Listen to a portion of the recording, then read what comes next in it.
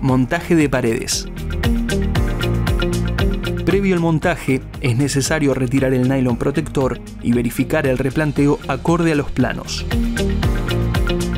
Para comenzar, es recomendable posicionar los paneles desde una esquina exterior de la vivienda, obteniendo así una mejor rigidez estructural.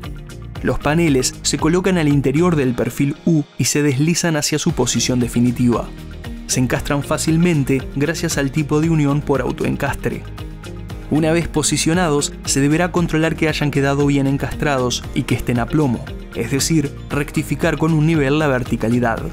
Luego se vinculan a la solera U de piso con remaches pop cada 20 centímetros. Cuando la canalización de alguna de las instalaciones esté ubicada en el panel que se está montando, se debe tener la precaución de realizar la canalización dentro del mismo.